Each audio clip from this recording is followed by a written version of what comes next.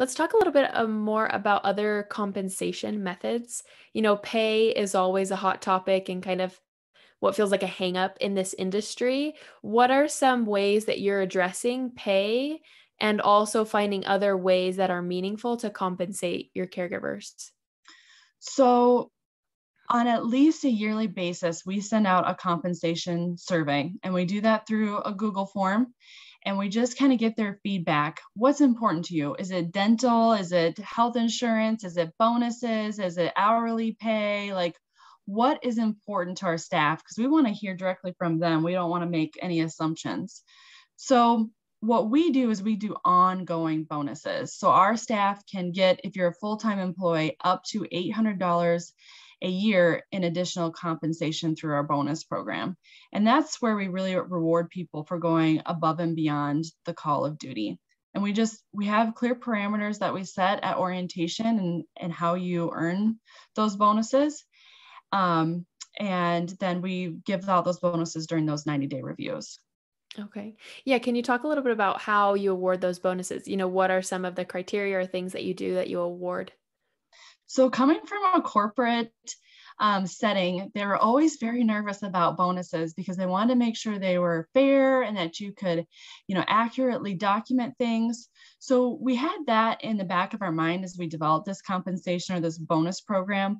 But we also wanted to get creative and we wanted to really think about what is important to us as an agency like what do we need from our staff to operate a really great agency and make sure that our care, our clients are well cared for so we look at five categories we look at attendance because it's important that people are reliable and show up to work and that we can count on them we look at client satisfaction so making sure our clients' needs are taken care of. And we use ClearCare so we can easily tag anytime a client calls in or another coworker calls in and says, hey, this caregiver is doing a great job.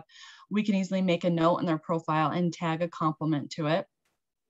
We look at making sure they're compliant with our policies and procedures, so have no corrective actions in the look back period we look at job performance. So we look at their last supervisory visit and how well they scored on that, but also look at whether or not they've completed their online learning in a timely fashion and gotten us important documents like driver's license and car insurance and things like that in a timely manner.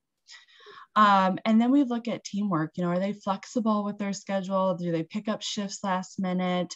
Do they help us out um, or help their team members out when other people need to need time off? So we look at all that. A lot of it's just tags and notes that we make in ClearCare to document that. Um, and then if you work, you know, five hours a week, your bonus is going to be a little bit less than if maybe you work 40. So if you're a 40 full-time caregiver, you meet all five categories, you're going to get a $200 bonus every 90 days. Whereas if you work five hours and you meet all five categories, um, your bonus might be $50. So we kind of tier it down based on number of hours and how many categories they meet. Yeah, I love that. Thanks for breaking that down in such detail and mentioning ClearCare as, as how you track that. You know, I think, like you said, people shy away from the legwork that's going to go into building it and then maintaining it. But like you've said, you know, you just rise to the occasion and figure it out, map it out with your office staff team, and then hold people accountable and make sure it's a part of that 90 day review so that you're maintaining that that bonus recognition